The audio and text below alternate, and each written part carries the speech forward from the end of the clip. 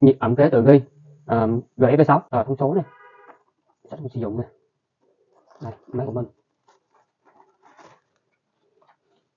Đây, đây mình sẽ ờ, mở pin nha. Thì máy mới thì nó sẽ có một cái giấy để góp pin này. Này mình dựng nó lên thôi. Và cái này nó dùng pin sạc nha. Rồi thì ờ, tổng quay sơ thì ờ, hai cổng này sẽ là hai cái cổng để mình mà mình gắn cái đầu dò vô này. Đầu về đầu đo đo độ ẩm một đầu sẽ là đo nhiệt độ nha. Còn bên này nó sẽ là cái cổng uh, macro thì để mình gắn vào trong máy tính này. Và nó cũng là một cái cổng để mình sạc nha. Rồi thì tiếp theo thì ở bên trong nữa sẽ có là đây sẽ là cái đầu một đầu giờ này và đầu này sẽ là đầu để mình đo nhiệt độ nha. Bên này. Đây sẽ là cái dây cắm để mình cắm vào máy tính và mình sạc cho máy của mình nha. Và cái dây này sẽ là cái dây của cái đầu dò độ ẩm nha.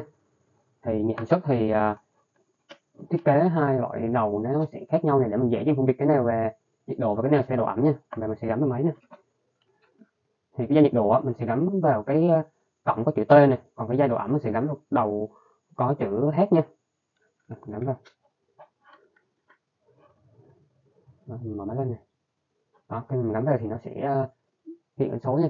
Khi mình rút một dây này ví dụ mà nó không nhận một dây á thì nó sẽ báo uh, lỗi. Đây đây phần lõm mình để rút dây đây này nó sẽ báo lỗi này giờ mình sẽ hướng dẫn các bạn cách để mình, uh, cài đặt uh, cái GSP6 này lên trên máy tính nha. Đây mình sẽ vào trang web của mình. Đây đây là trang web của mình. Thì đường link mình sẽ để ở phía bên dưới nha. Rồi mình sẽ uh, search uh, GSP đây sẽ ra GSP6 rồi mình sẽ kéo xuống dưới phần mô tả nha đây ở đây sẽ có một cái link driver để mình tải về nhé, rồi tải nó về và sau khi mà mình tải xong rồi á thì mình sẽ à, mở nó lên nha. Đây. Rồi thì cái này thì mình cứ ấn à, uh, nếu là các bạn mà mình à, muốn nó cài nó ở một cái ổ đĩa khác á, thì mình chọn. Còn không thì mình cứ ấn next thôi. Install. Rồi chờ nó chạy nha.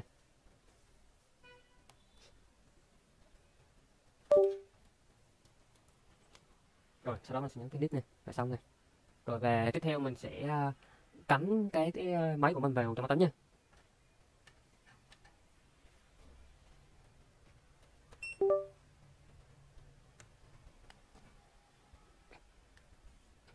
Rồi về đã cắm xong mình sẽ mở ứng dụng lên nha.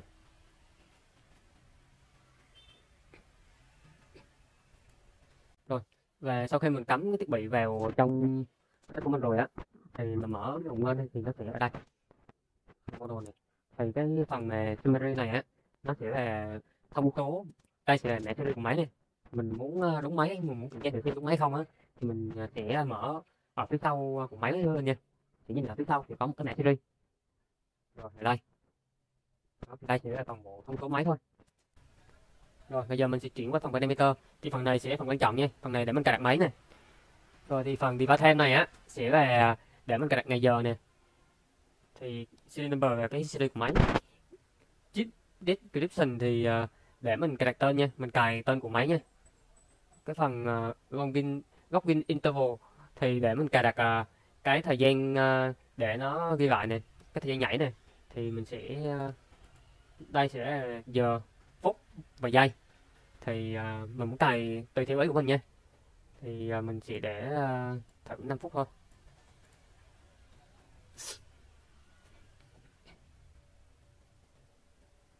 nút dừng.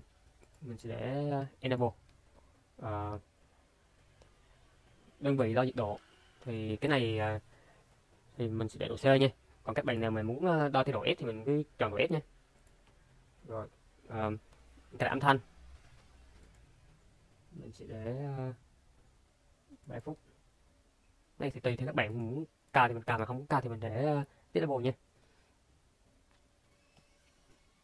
Rồi ngừng báo động. Ở đây sẽ là giới hạn nhiệt độ nha thì mình thì uh, mình sẽ cao là 60 độ. Um,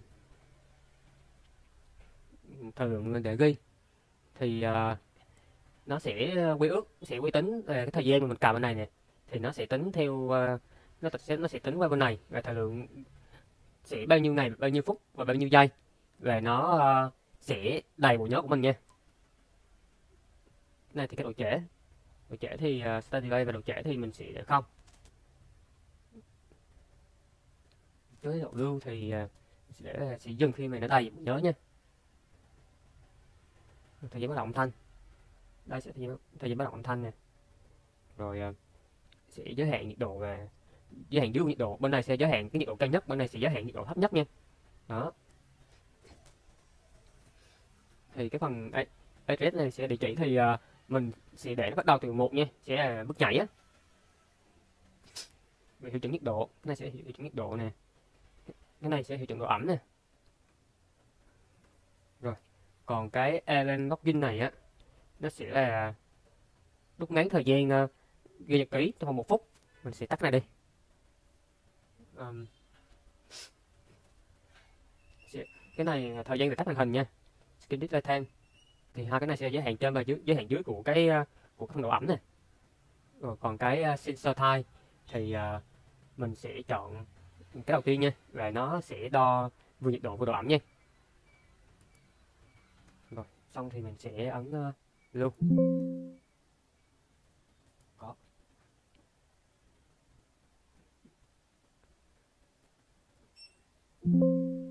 Rồi hoàn thành nè. Mình sẽ qua bên này đó, thì tất cả những cái gì mà nãy giờ mình thay đổi đó thì nó sẽ hiện ra nó sẽ hiện qua phần summary nha. Rồi rồi. Và tiếp theo mình sẽ ờ, thử cho các bạn nha.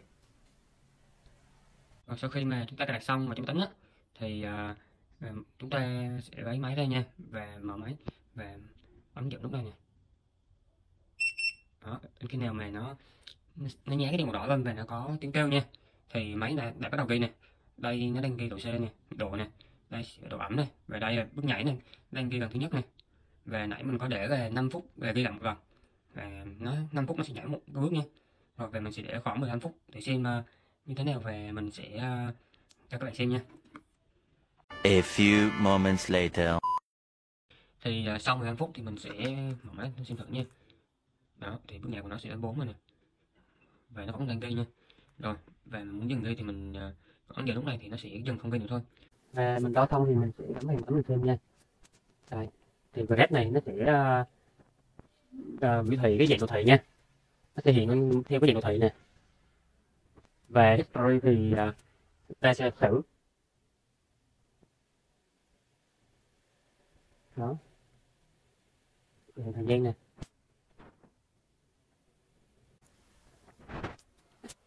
Rồi thì bây giờ mình sẽ uh, xuất Ờ, cái kết quả này à, ra file nha. Rồi mình sẽ uh, export data thì ở đây nó sẽ cho mình chọn là file gì nè? Pdf này file excel này uh, và cái file khác. Mình uh, sẽ chọn uh, excel này rồi thì uh, nó sẽ cho mình uh, chọn uh, nơi để mình, mình lưu file nha.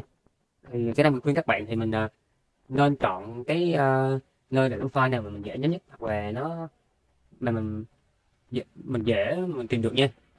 Thì mình à, để ngồi vào cái top cho nó dễ nè để tên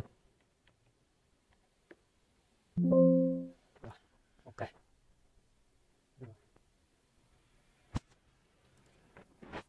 Rồi và bây giờ mình sẽ mở bánh thử cho các bạn xem nha. Đây. Đó, nó hiện kết quả ghi nè.